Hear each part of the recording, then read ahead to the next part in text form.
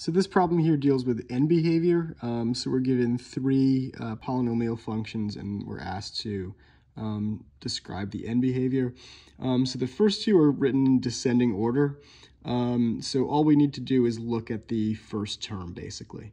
Um, so the first term in this first one here is 2x to the fifth. Um, so we can see our leading coefficient is positive, and our uh, degree is odd. That's all we really need to know. Um, so remember, anytime you have odd degree, you're going to be rising in one corner and falling in the other corner. And that's determined, which corner it is, is determined by the sign on the leading coefficient. So here the leading coefficient's positive. That means we're going to be falling to the left and rising to the right. Um, so it's going to grow kind of just like x squared, uh, or y equals x. Um, so falling in the right, uh, falling in the left rather, and rising to the right. So we'll click option one there.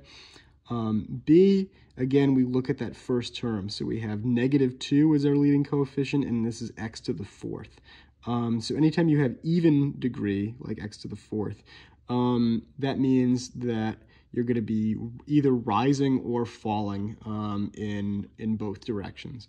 Um, and the direction, uh, you know, or the, the orientation rather, is determined again by the sign and the leading coefficient. So when it's positive, you're going to be rising in both directions. When it's negative, you're going to be falling in both directions. So we're going to click the option that falls in both directions, option four.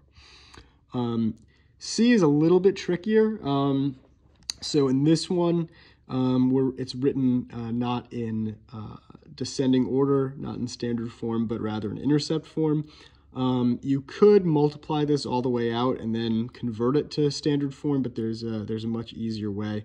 Um, really, all we need to do is first look at, um, we look at all of the x's. So we have an x here and we have an x here. So here, this x isn't raised to any power outside. Here, this x is raised uh, to the second power. This whole parentheses is raised to the second power.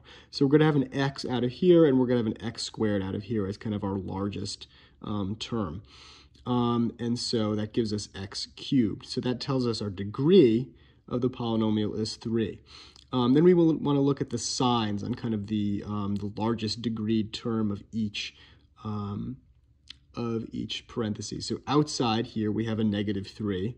Here we have basically a coefficient of 1 on the x, and here we have again a coefficient of 1 on the x. So we'll do negative 3 times 1 times 1. That gives us our leading coefficient of negative 3.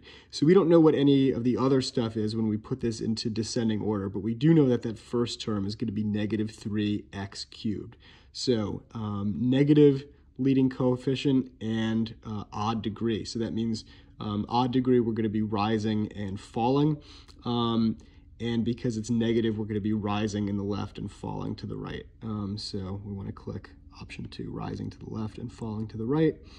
And then we hit check, and there we go.